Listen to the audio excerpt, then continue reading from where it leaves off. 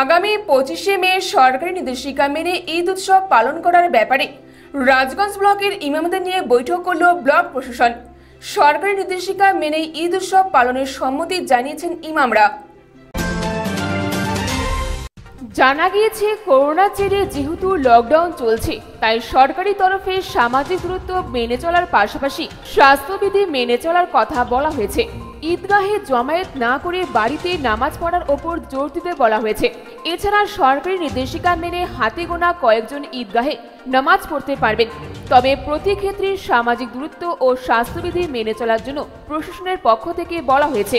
এদিন বিস্তারিত আলোচনার পর ইমামরা সরকারি নির্দেশিকা মেনে চলার সম্মতি জানিয়েছেন। এদিনকার এই বৈঠকে উপস্থিত ছিলেন সিআই দীপোজ্জ্বল ভৌমিক, রাজগঞ্জ থানার ওসি খেসান লামা, বেলাকবা ফাঁড়ির পুলিশ, সুব্রত সাহাসহ প্রমুখ।